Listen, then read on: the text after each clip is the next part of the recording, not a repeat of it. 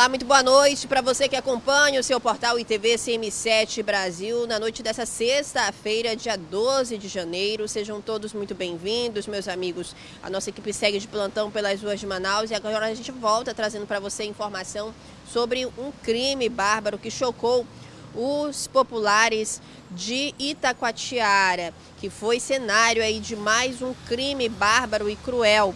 Um homem identificado como Raimundo Nonato Barbosa, de 53 anos, foi assassinado brutalmente, meus amigos. O corpo da vítima foi encontrado em uma área de mata no bairro Mutirão, nessa última quinta-feira.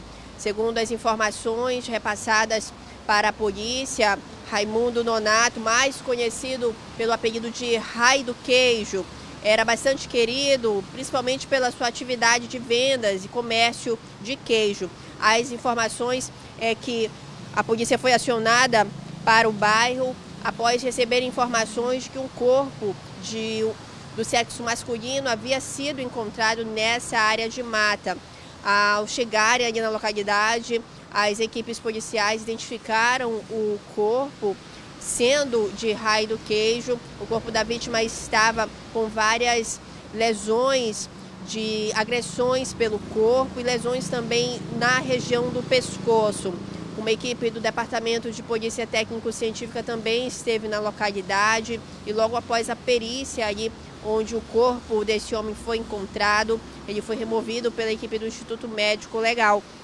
A comunidade ficou completamente consternada ali após a informação circular de que seria mesmo o Raimundo Nonato, o Rai do Queijo, que teria sido encontrado morto nessas circunstâncias, um crime bárbaro e cruel que vitimou esse comerciante, a motivação ainda do crime e também a identidade dos criminosos segue sendo investigada pela Polícia Civil e as informações é que as autoridades continuam a apurar os detalhes sobre esse caso bárbaro. O comércio local e também, principalmente, quem convivia com o raio do queijo, é, prestou a sua solidariedade e também várias homenagens nessa última quinta-feira e hoje também homenagens ao vendedor que já fazia parte do cotidiano ali da população local do município de Itacoatiara. A gente ressalta que o crime está sendo investigado já a motivação desse assassinato que vitimou esse vendedor de queijos ali no interior do Amazonas e também a identidade desses assassinos vai estar sendo investigada pela Polícia Civil do Amazonas. A gente leva para você todos os detalhes sobre esse caso, imagens exclusivas. A gente mostra para você também na nossa matéria escrita através do seu site de notícias. Acesse a qualquer momento cm7brasil.com e confira tudo o que acontece aqui em Manaus, no interior do estado, no Brasil e no mundo. Eu já vou falando com quem está chegando aqui com a gente. Olha só, Raimunda Freitas, boa noite. Valquimar Gomes, muito boa noite. Ronde Abreu, é o rei do queijo, já pegaram culpado. Olha só, as informações é que existe também um principal suspeito de envolvimento aí que a polícia também já é, deteve após as investigações, mas as investigações continuam aí para estar localizando outros supostos envolvidos nesse crime bárbaro que vitimou esse é, vendedor de queijos, o rei do queijo. Ó, tem alguns amigos aqui que estão dizendo que ele era o rei do queijo. Rai, né, que é Raimundo Nonato, aí ele era bastante conhecido pelo apelido de Rai do Queijo, mas já era como o rei do queijo ali na localidade, era bastante conhecido e a população ali do município de Itacoatiara ficou completamente devastada com a informação de que ele, que o vendedor teria sido encontrado nessas circunstâncias, principalmente por ele ser muito querido ali e conhecido no comércio ali com a sua venda de queijos na cidade. A gente leva para você essas informações. Um suspeito já foi preso, mas as investigações na Polícia Civil continuam em relação ao caso. Todos os detalhes você confere acessando cm7brasil.com. Eu já dou muito boa noite aqui para a nossa amiga Dede Ribeiro. Boa noite, melhor portal de notícia. Boa noite, Dede. Sandra Graça.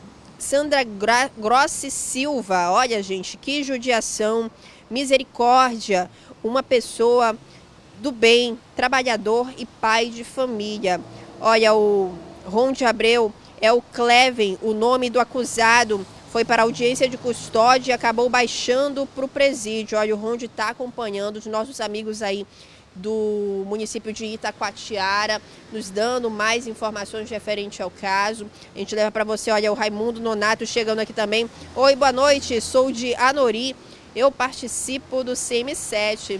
Muito obrigada, meu querido Raimundo, um abraço aí para todos os nossos amigos do município de Anori, estão no interior do estado, conferindo aqui todas as informações sobre tudo que acontece aqui no estado do Amazonas através da telinha do CM7 Brasil. E olha só, gente, aqui em Manaus, na Zona Leste, a gente está aqui diretamente do 14º Distrito Integrado de Polícia, Tá caindo muita chuva, viu? Olha, eu tô aqui na coberta. Cristiano Chimenez está com o guarda-chuva ali dele. E olha só, a gente vai mostrando as vias bastante escorregadias, viu, gente? Choveu aqui em Manaus o trânsito já fica um caos, até rimou, né?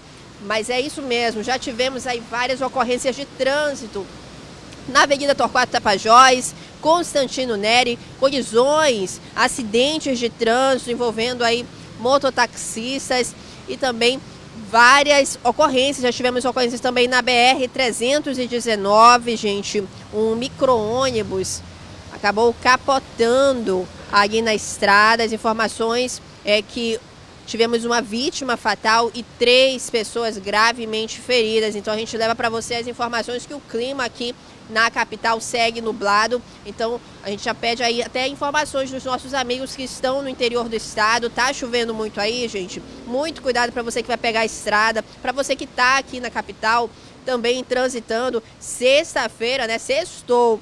Pessoal, tá em peso aqui na rua. A gente estava até comentando, eu e o Cris, que o trânsito está bastante movimentado nessa sexta-feira, então muito cuidado, viu, você condutor e você também pedestre, quando estiver aí atravessando, vá pela faixa, vá, se tiver passarela, anda mais um pouco, mas vai pela passarela, porque o trânsito aqui em Manaus não tá para brincadeira. E você, condutor, motorista, mototaxista, muito cuidado, pois tivemos também informação de óleo na pista ali na região da Bola do Coroado, ali na zona, aqui ainda na zona leste de Manaus, para você que está transitando ali, indo também para o Japim, temos aí informações de óleo na pista. Então, olha, com chuva e óleo, o negócio está difícil. Então, dirija com cuidado, sem velocidade, que todo mundo chegue em casa nos seus respectivos aí locais, para onde você estiver indo, tá bom? A gente vai levando para você essas informações. A nossa equipe segue de plantão aqui nessa noite de sexta-feira. Daqui a pouquinho a gente volta com muito mais informações. Continue com a gente também acessando cime7brasil.com e confira todas as nossas informações, notícias também nas nossas plataformas digitais.